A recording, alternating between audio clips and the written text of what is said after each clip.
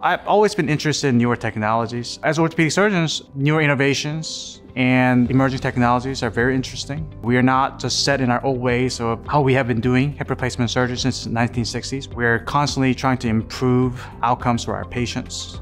Hip dislocation after hip replacement is a complication, and that is something our surgeons are trying to constantly improve our techniques to minimize.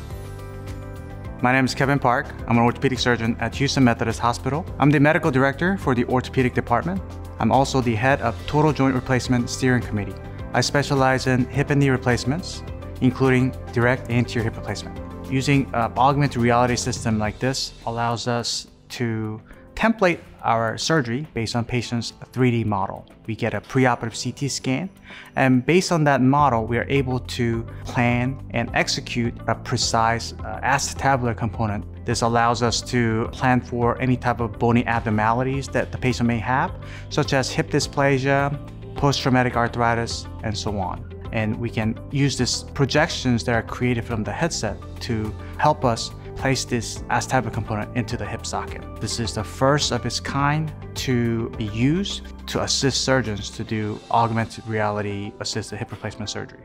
Using this technology reduces our need for fluoroscopy or any x-ray usage in the room. My first HipInsight surgery was done February 23, 2023. The patient came to me with debilitating hip arthritis.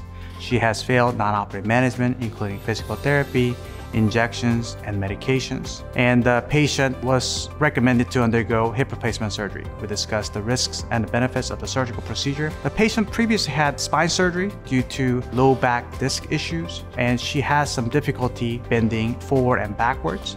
So I thought she'd be at high risk for dislocation after hip replacement surgery. So we got a pre-operative CT scan, which allowed us to template and plan for using the technology. As an orthopedic surgeon, I want to improve my patient's outcome while adapting newer innovative technology. We have quite a bit of augmented reality technologies out there for orthopedics. A lot of that is being used for training purposes. However, using an actual clinical situation really excited me. Using augmented reality system like this will potentially benefit our patients uh, as well as our clinical staff in the future.